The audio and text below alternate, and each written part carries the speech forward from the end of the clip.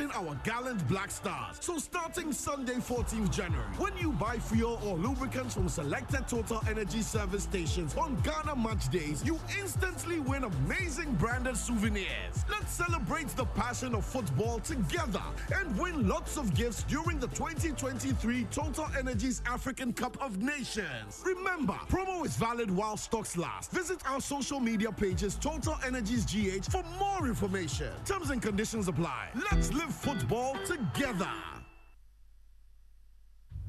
Hmm. Hey. Uh, Kojo, hmm are you okay? So you know, uh, let me read a tweet to okay. you. Okay. Sure. This was uh, posted by sports journalist Sadiq Adams, Mhm. who happens to be in Ivory Coast. You know, for the tournament. Okay. So he tweet, tweet uh, posted this on X. Uh, how long ago? Six hours ago. One member of the Ghanaian supporters in Abidjan has been arrested for an attack on coach Chris Hughton at the team's hotel. It took the inter- intervention of some Ghanaian diplomats who were around to save the coach. The unidentified man has been handed to the Ivorian. police. Easy, easy, easy. Tells you how passionate people are about um, uh, the Black Stars. People ball. People are so upset. I Um, mean, come on. well, I've learned my lessons. so I, Which I, is- which is what? Teach so I don't all. get emotionally attached to the Black Stars. Uh, I just watch and like, Cape okay. Verde. I mean, who would have thought? But I know that football has, I mean, transformed over the years. But no, no, I mean, no, no, no, no, no. Cape, Cape Verde. Let's, no let's team be is a real. sport team, right? Let's be real. Cape Verde versus Ghana. And that was the scoreline. Well, I guess the question we should ask if we really have a team. Do we really have a team? You I think we should ask do we have a coach? All right. Yeah, that's another question. Because we may have a team. But do Because we we have have some of the finest players from across the world. I mean, who play around the world, but You. But it's difficult. it's heartbreaking is what it is it's hard anyway but look as as always it's important to have conversations that actually point to this the problem Mm. so that a solution can be found because wait dear we no go grieve give this this this disappointment in 2020 Perhaps it's also a case of a slow start. Maybe next game they change up and then. Are you not the one who said you have learned your lesson I'm just Are giving us the hope. one? I'm just giving us hope for the coming days. please It's- please please please we don't want hope yeah, we want goals Mm. I've even lost my voice yesterday. I Oh, mean, I- oh. Okay, the 6 a.m. news. Hmm. People's Monday morning messed up already. Charlie, They're Charlie. going to work and all disappointed. Something amazing will have to happen to claw back my good mood. Like something amazing must happen. Like someone must come and dash me a new TV. I smashed had my, it. I smashed my TV over the weekend. Oh, you did? Not because of the Black Stars. Or something By else? accident, actually. The guy fixing the AC knocked it over. Oh, Charlie, too so bad. I don't have TV in my house. I'm a very sad, sad Someone boy. come to Kojo's rescue. And the Black Stars also disappointed me. and I lost my voice. Hmm. So anything above 55 inches, you know, will be welcome. All right. The 6 a.m. news was brought to us by Total Energies. Total, we go the extra mile for you. And Absa Bank Ghana Limited, helping you find a way to get things done.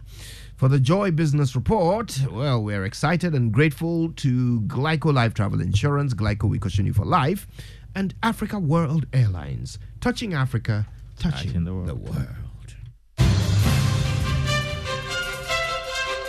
Hi,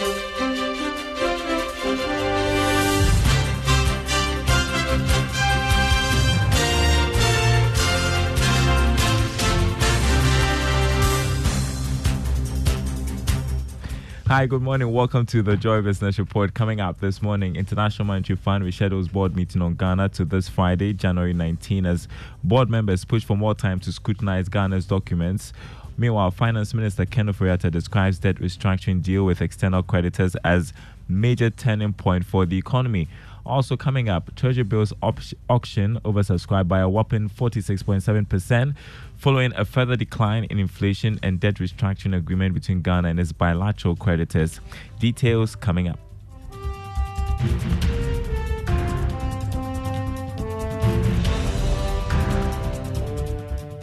My name is Daryl Kwa. Thanks for being with us. Hello to our friends listening on KTU Radio in Koforidua. First up, the International Monetary Fund has rescheduled its board meeting on Ghana to this Friday, uh, January 19. But what has resulted in the fund taking this decision, despite the country reaching a deal with its external creditors?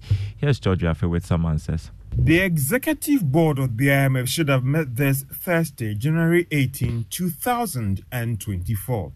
However, Joy Business is learning that some of the executive board members have made a case for the meeting to be pushed a day forward. This is to give them more time to review Ghana's documents submitted by the IMF staff. Therefore, the change in date has nothing to do with Ghana not meeting the conditions for the board to meet on its program or concerns about the deal reached with its creditors. We also understand that the executive board members need at least three days to review the country's documents, and since Monday is a holiday in USA, the pushback was necessary. This is because the holiday would mean that the mandatory three days will be cut by a day. Sources close to the fund have told Business that everything is in place for the executive board to meet and carry out Ghana's first review under the fund program this Friday. This should mean that by next Wednesday, about $600 million should hit Bank of Ghana's account. That is, if the country is able to pass this first review by the IMF on how it has fared under the fund program. George Jaffe starting us off with that report. Well, Finance Minister Ken Ofori-Atta has described the deal reached with external uh, creditors as a major turning point for the economy. Um, speaking on PM Express Business Edition, which will air this Thursday, Mr. Ofori-Atta said this deal will help fast track the process of reducing Ghana's debt to sustainable levels expecting that we will all negotiate in good faith, um, looking at the country coming back um, quicker uh, than later. Um, so it's a good time, it's historic, and we need to acknowledge that ours then, uh, as a government Ministry of Finance, um, is to work in good faith with these um, investors. You tried to explain to me that yes, the negotiations hasn't ended, even though there's been some preliminary deal reached with yeah. them. It means that you could still continue engaging them and maybe pushing further with regards to the OCC? The OCC yeah. Oh, definitely. You know, because the memorandum of understanding has to be signed, uh, and that then will encapsulate, you know, um, issues that we need to think a bit more. You had the finance minister there, Ken Ofori-Atta, speaking on PM Express uh, Business Edition, which will air this Thursday on the Joy News channel at uh, 9 p.m. Now, in a related development, the business community in Ghana is hopeful of a rebound in investor confidence in the coming days following the announcement by government that it has secured a deal with external creditors on restructuring the country's debt. This is expected to pave way for the disbursement of the second tranche of the $600 million International Monetary Fund bailout package. Reacting to this, President of the Ghana Union of Traders Association, Joseph Obeng, said the deal will send a good signal to the investor community every economy needs some confidence. And so all that um, this is bringing to bear is the confidence in the economy. And now that um, um, it has started uh, whipping up some interest um, by um, our, our, counterparts, now that we are telling them the good stories that um, inflation is coming down, the, the economy or the currency have stabilized and all that. When this one come and then we also manage things well, then of course the investor community or the partners that you you you, you call um, our partners will even have a further um, confidence in coming over to help us um, develop this country. You heard President of GUTA there, Joseph Obeng. Now, following a further decline in headline inflation, interest rates eased again as Treasury bills were oversubscribed by a whopping 46.7%. That's according to the latest auction results by the Bank of Ghana. The results show the demand for the short term instruments surged following an agreement between the country and its bilateral creditors on the restructuring of external debt. Here's more. Interest rates have been falling since the last week of December 2023 It dropped further in the last T-bills auction last Friday due to a signal of an expected improved economic environment going forward. The 91-day bill went down to 29.03% from the previous 29.19%. The 182-day bill also declined by 23 basis points to 31.51%. For the 364-day bill, it also fell to 32.08% from 32.34% the preceding week.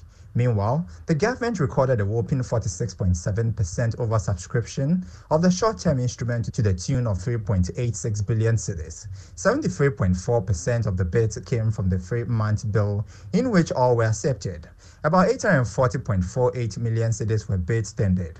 The uptake was 839.32 million cedis. For the one-year bill, all the 185.04 million cedis bids were accepted. You're listening to the Joy Business Report. Now, Executive Director of the African Center for Energy Policy, ACEP, Ben Boakye, has described the introduction of the value added tax on electricity consumers above lifeline consumption as inappropriate and counterproductive. Mr. Boakye is of the view that the tax may rather encourage few law abiding citizens who pay electricity bills to begin finding alternative measures to avoid the tax. He argues that it would rather be prudent for the government and the Electricity Company of Ghana to work on reducing inefficiencies that lead to power losses in the distribution channel due to theft. I don't have a problem with VAT on electricity, but you have to analyze it from systems perspective and where we are. And I think it, it is not the right time uh, to do that mm. uh, because we have a problem where people are stealing power. We don't have a solution to it. And the more you increase the burden, the tendency for them to uh, uh, uh more people to steal power is, is really high. All right, we don't have the systems to be able to address the leakages uh, uh, that are happening everywhere in the country. And just adding uh, another layer of tax is not going to. I mean, government has been taking VAT from businesses. They hardly realize that money because once it gets into ECG's hands and you know they can collect much. Um, they can pay the IPPs, they can pay uh, transmission, they can pay uh, the state agencies like VRA and uh, and and uh, BUI. Executive Director of ACEP, Ben Boakye there. Now, Minister of Information, Kojo Oppong-Nkrumah, is asking young people to take new opportunities to complement government's efforts in creating jobs to facilitate economic growth. According to him, this would aid in the fight against unemployment. He was speaking at the unveiling of Concentrix and Webhelp in Ghana. I just want to encourage you, our colleagues, the young people who've had this brilliant opportunity. Consider yourselves as ambassadors for the millions of other young people who don't have this opportunity and give it the best that you can so that people like Philip and his colleagues will have reason to create more floors to accommodate a lot more young people so that many of your colleagues who don't have this opportunity will get that opportunity because of the great work that you are doing here. You have the Minister of Information, uh, Kojo Oppong-Nkrumah, Concentrix Plus Webhelp SI, a leading global provider of customer experience solutions and technology. It is. Its operations in Ghana have contributed significantly to local employment, growing to over 500 dedicated team members within the first year. Now, the executive chairman of the First Sky Group, Eric Seddy Kutortse, has underscored his outfit's commitment to creating jobs for the youth with sustainable income. According to him, despite the economic challenges faced by most businesses in the year 2023, the group recorded unprecedented growth. First Sky Group operates in the aviation, construction, insurance, energy, and hospitality sectors. Speaking at the 21st anniversary and Thanksgiving service of the group, the executive chairman said his company will support the Ghanaian economy immensely. Globally for business. The year 2023 was not favorable globally for business. Some business collapsed, others saw very minimal growth. But for the mercies of God, our business was sustained and they saw unprecedented growth. God is indeed a faithful God. One observed that for us at the first kind the critical ingredient responsible for our existence and growth has been abundant grace and love.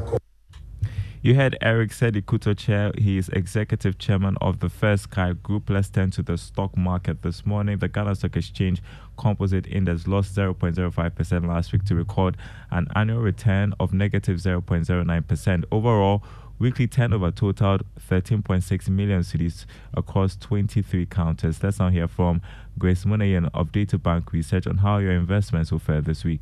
The trading week ended with the market indices closing lower following price declines in three counters. New gold